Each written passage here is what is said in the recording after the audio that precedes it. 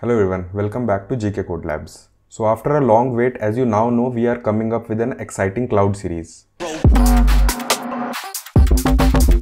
As we have multiple cloud platform, we thought of taking a poll as to on which cloud platform our GK Code Labs community wants this series to be. We also gave a thought uh, in providing this uh, series in different languages, basically to English and Hindi. And that is evident by seeing this poll which I shared on Friday that most of our community wants this series to be on AWS platform and in English language. The second top vote was for Microsoft Azure and that is acceptable because if you see the recent uh, stats of July, uh, Microsoft Azure has captured a good amount of market uh, in um, cloud business. It has a good traction of about 23% of the cloud market, but AWS still stands at about 32 to 33% as of today. Now, let me tell you from a candidate's perspective, there is a very little difference that lies uh, while using the services that these cloud platform uh, provides. So to get our work done, it's almost the same. Although from business perspective, they might make a lot of difference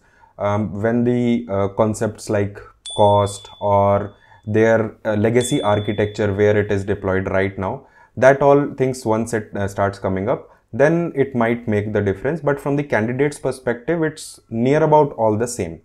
So here is what we have planned. Seeing the poll results where the winner is AWS with almost 50 plus percent of the votes. We will start with AWS and keep their sessions under different buckets like so. First is the architecture. Then we'll come to accounts and identity related services and their significances. Obviously we'll have practicals on them, but this will be one of the bucket.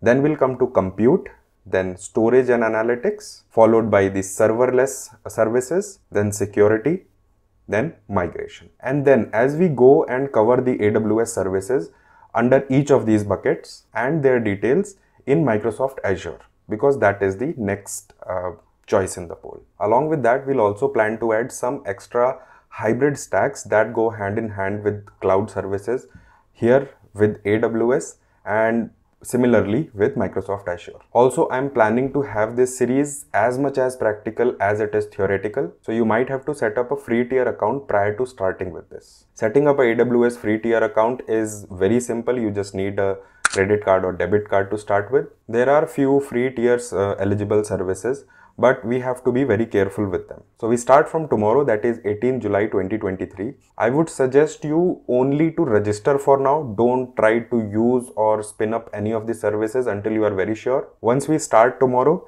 I will explain all the small nitty gritty things that you need to keep in mind before using it because AWS uh, offers very less free tier services. Most of them will cost you. Cost will be bare minimum, but uh, why to take risk? But I would suggest have it ready by tomorrow if you want to do hands-on along with me. So see you tomorrow. Please subscribe to GK Code Labs and hit that bell icon so that you don't miss any of the session in this series. Thank you guys. See you tomorrow.